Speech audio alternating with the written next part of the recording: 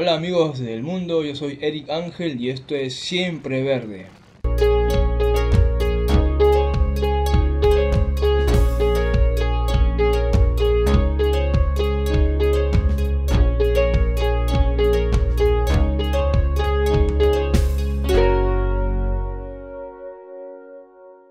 Estoy acompañado esta noche con un amigo, él es, Carlos Cuellar.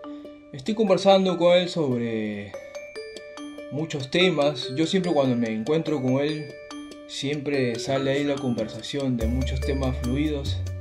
Entonces, eh, siempre sale la idea de, de grabar algo. Entonces, en esta ocasión vamos a aprovechar la oportunidad para hacer una primera secuencia y este le vamos a dar la bienvenida. ¿no? Hola Carlos, ¿cómo estás?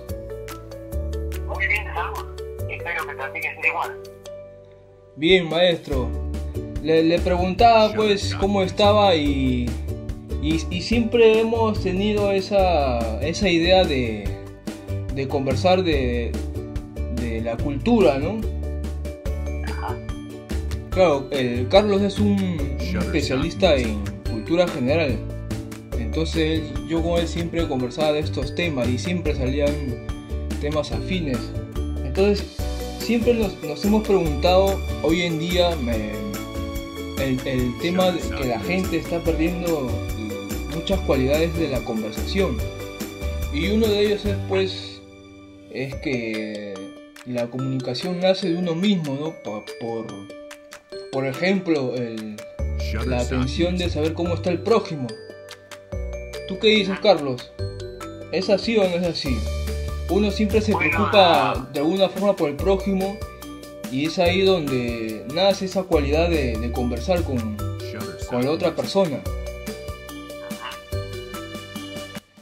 Bueno, la comunicación verbal se ha perdido y se va perdiendo cada vez más.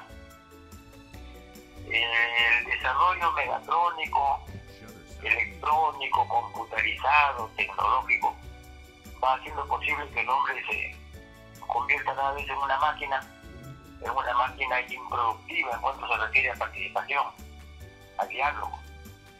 De ahí por qué la persona no, no tiene la capacidad de comunicar, ha perdido su capacidad de hablar. Entonces, eh, eso tiene que motivarse a un cambio y debe de empezar por la lectura. Entonces debe promoverse al ser humano desde niño que lea. Pero si el niño no ve leer en su casa, ¿qué va a leer? Los padres tienen que tener un libro, aunque sea una vez al mes, nuevo en su casa. No se necesita una biblioteca lujosa, se puede sea guardar en una caja de, de leche, pero que los niños vean, así no sepan leer, vean leer a sus padres. Porque la motivación también puede ser de una forma indirecta. Y luego, a medida que va leyendo o aprendiendo a leer, ya leer con ellos. Lecturas más o menos que vayan acorde con su edad.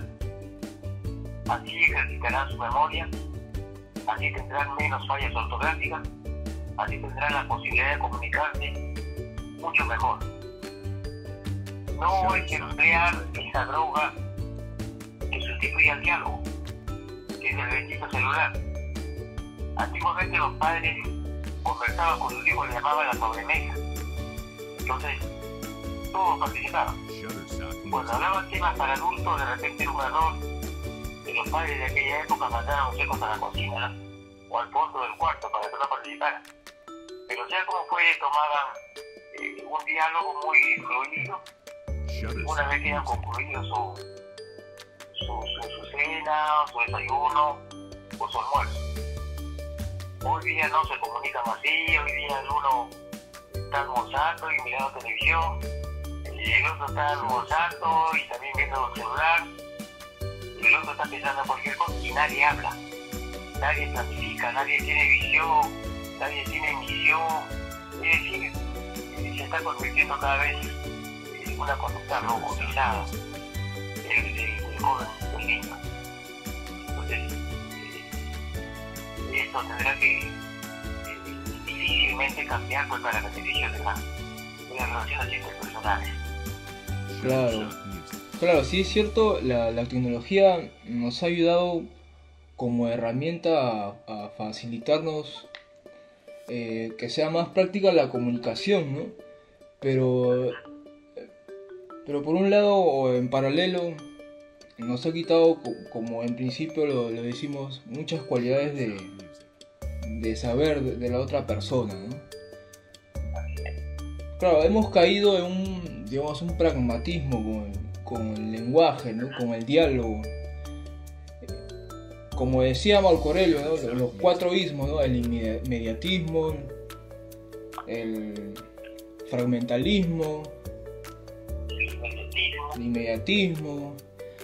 Toda, toda persona está apurada. Yo recuerdo que cuando de niño eh, mi abuela nos invitaba al almuerzo, eh, ella por su lado siempre empezaba con la palabra ¿no? y empezaba a agradecer los alimentos. ¿no?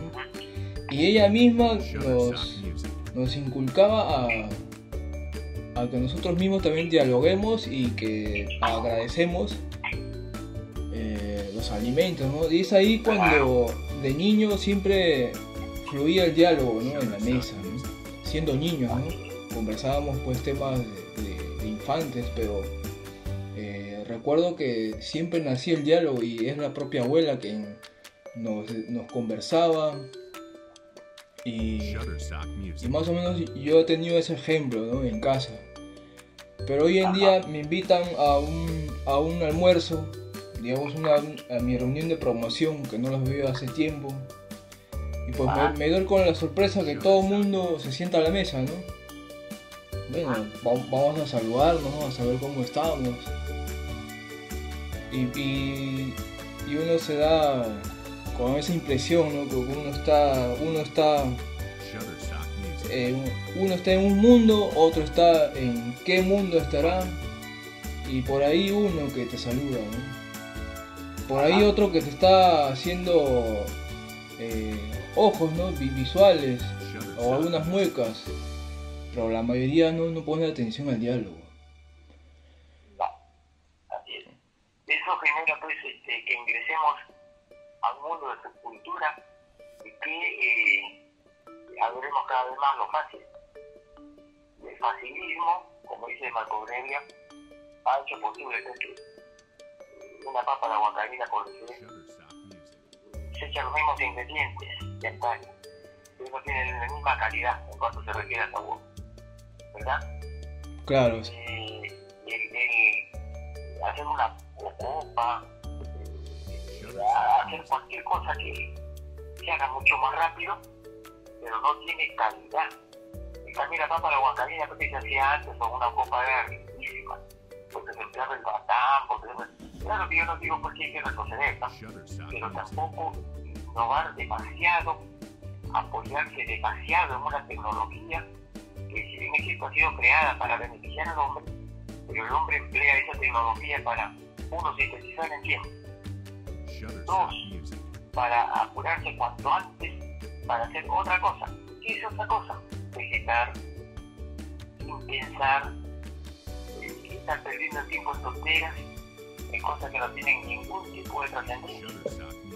Entonces lo que tiene que hacer la persona es buscar antes que la creencia, buscar la idea, es decir, la capacidad de analizar, y eso pues ejercita, ejercita la labor del cerebro ejercicios mentales del niño hasta el viejo.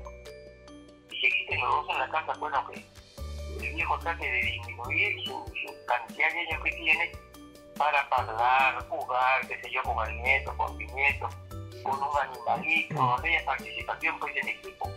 Todos eh, participan, todos intervienen. Hay gente que dice, no, no tengo nada que hacer, me voy a, a dormir. Oiga, uno duerme solamente en la noche, debe dormir fundamentalmente en la noche. Entonces, tiene que descansar, pero si se puede descansar también de la actividad. El verdadero descanso en el cambio de labor, cambio de trabajo. No dejar de trabajar, deja de trabajar, debería de descansar, pues el muerto. Él debe descansar y descansa ya para siempre, pero mientras uno respira, no falta que hacer. dedicarse como somos aficionados a las plantas, a sembrar, eh, a, cosechar, a podar, a abonar, a regar. Hay tantísimas cosas por hacer con las plantas. ¿Es cierto? Entonces eso hace posible pues, de que haya una comunicación no solamente de humano con humano, sino también de humano con nuestros hermanos menores. Llámese un perro, un gatito, una planta. Claro, llegar a ese buen punto ha sido una buena analogía porque mucha gente en el canal de Siempre Verde le habla a sus plantas. ¿no? Y, está feliz ¿no? de, comunicarle a, su plantita cómo se siente, ¿no? Y esa misma energía la transmite a su planta que crece con buen color, ¿no? Y, en un clima agradable, ¿no? Eso sinceramente prolonga la vida de ambos, del humano, porque tiene responsabilidades con la planta, y la planta que se siente amada, se siente respetada, se siente valorada. Eso capta, porque la planta también tiene sensibilidad entonces eso favorece un vínculo eh, más afectuoso entre el humano con la planta, con el animalito. Pareciera que entendiera. Yo creo que entiende. Yo creo que reconoce. Y, yo creo que hay que asumir toda la responsabilidad cuando se refiere a los seres en una casa, una planta, animalito. Oxigenan el ambiente, eh, nos enseñan a amar muchas veces el animal nos enseña a amar, hasta para sus relaciones sexuales. El perro no copula con la perra eh, da la gana de uno botón, no. Cuando entra en seno la perra motiva, directa o indirectamente, y hay una cantidad de, distancia enorme que emite un hedor y es captado por el perro, a diferencia del humano. Entonces ellos nos enseñan muchas veces infinidad de cosas afectuosas, por ejemplo, eh, cuando una gata traslada gatito por gatito en, la, en, el hocico, de una parte del techo al otro techo, regresa a recoger al otro gatito. Sea, le dan una protección, un afecto, que muchas veces, muchísimas veces el ser humano no. Cruza la pista la mujer sola, y luego chiquitos, chiquititos van a acostar. La, madre va con su celular, o pensando con después que lo atropelle o lo mata el chofer tiene la culpa. Es así. Debe haber un vínculo permanentemente desde el punto de vista afectivo con todo lo que nos rodea. Con todo. A mi entender, la afectividad está sobre la inteligencia, sobre la voluntad, incluso sobre la imaginación. Uno se culturiza más, pero si esa cultura no la, no la desarrolla o no la aplica con amor, eso es mal ahí viene el médico que apunta la pierna sana y deja la, la, infectada, el médico que vio un trozo de gas en el estómago de un paciente, ¿de qué le vale? Grandes oradores en el ámbito de la política. ¿Qué cosas contaron en la? Absolutamente nada. Porque en el Perú siguen habiendo miles de niños desnutridos, anémicos, y miles de ancianos que sin rumbo la única, teniendo como la única esperanza su propia desesperanza. Viven en la calle, en puntos horribles, y así para. Entonces no hay una capacidad efectiva que debe de instalarse en la conciencia del ser humano este niño. La educación inicial es la base. Sobre esa educación inicial va a edificarse la primaria, la secundaria, la cultura superior.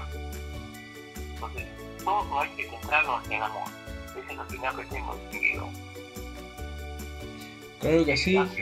Eh, este ha sido un, aunque ha sido un breve diálogo, porque de aquí vamos a seguir conversando de muchos temas. Eh, en esta primera secuencia eh, hemos querido simplemente conversar, más que debatir. Eh, solamente queríamos transmitir nuestra sensibilidad a estos temas, ya que lo estamos viviendo, ¿no? Y qué será más adelante no lo sabemos, ¿no? Pero aquí lo que queremos rescatar es el diálogo, ¿no? Y, y, queremos a la vez compartir con todos los seguidores y los que se quieran sumar a este diálogo, eh, estamos, eh, le damos la bienvenida, ¿no? Así como Carlos y yo, que siempre, eh, siempre lo saludo, lo llamo y, siempre quiero saber cómo está él y él a, su vez quiere saber cómo estoy yo. Y esto puede pasar en, en cualquier amistad, ¿no? Que es lo, es lo que queremos rescatar, ¿no? La cultura, la amistad, las, las plantas, ¿no? la naturaleza y sobre todo que todo fluya a través del amor ¿no? y de muchos sentimientos más. Entonces amigos, este, esta ha sido una primera secuencia para dialogar y conversar con ustedes. Eh, bueno, ¿algo más que decir, Carlos? No, que me siento muy agradecido y que como estás hablando, pues, si hay posibilidades de que otras personas puedan interrogar, que tengan una duda o que tengan una sugerencia por, por darnos, en buena hora. Tú como jefe de grupo, como líder de esta participación, sería bueno que perdurara, repito, el diálogo que se colectivice, que se dinamice y que se vuelque con todo eh, nuestro cerebro y nuestro corazón juntos para que una simbiosis feliz podamos ser útiles a nuestro entorno comunal, social, cultural. Es todo lo que podría decir, Claro que sí, claro que sí. Vamos a seguir dialogando y, y, a la vez invitar a todos los que quieran participar. También va a participar el maestro Jaime de estos diálogos. Así que los que quieran hacer preguntas, este, los vamos a, vamos a, van a ser bien recibidos en los comentarios. Entonces, sin más que decir, ya será hasta la próxima secuencia y que no cabe duda que vamos a seguir conversando sobre este tema de los diálogos y de muchas cualidades más del ser humano. Entonces me despido, Carlos. Así será.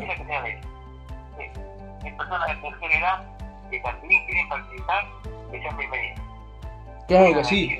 Le vamos a hacer la invitación a de todas las edades, de hecho que sí. Entonces, estamos en contacto, Carlos. Hasta luego amigos. Hasta pronto.